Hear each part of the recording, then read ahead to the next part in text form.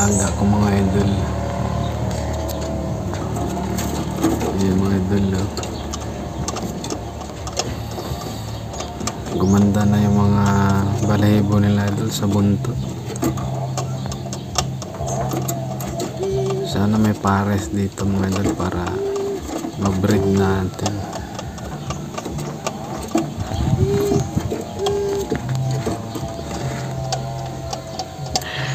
Sana all.